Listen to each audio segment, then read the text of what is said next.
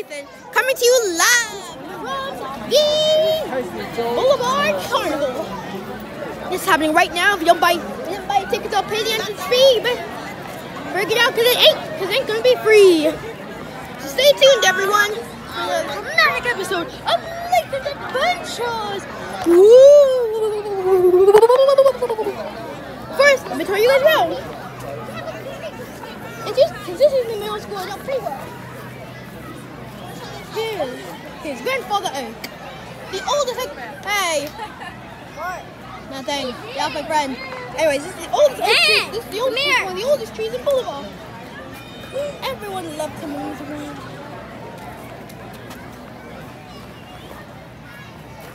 And there's our happy little playground. I never cared for it. See that one in the corner over there with the little kids climbing on? That's my little boy. Hey, get out my little boy! Oh, it is my old pal Seth. Hey Seth, say hi to my viewers. He's nice. Anyways, as we continue on with our adventures, I keep wandering around going, oh grandfather, come to the main carnival attraction. There's Funny Bounce House, fun carnival games. Some of them are a lot harder than they appear. Start flashback to, the, to this. Anyways, normally there would be pony rides, but it seems this goes on to some budget cuts. Oh well.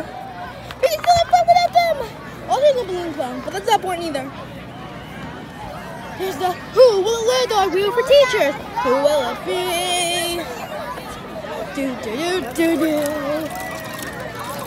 Who do you choose? Who do you choose? Who's going to win? I already know. Oh, the- Phoenix, say hi to my viewers. Hi, Miss Williams. Oh, there's my gym teacher, Mr. Cross. Wait, Mr. Cross, say hi to the viewers. That's an awesome photo. I don't see Thanks. any- Yeah. Phoenix, say hi to the viewers. Say hi to the viewers. Say hi to the viewers. Hey, you can cut me as the director. Oh, hello. I want it. Hi, Sadie. Say hi to my viewers. I'll see you tomorrow. They're my friends.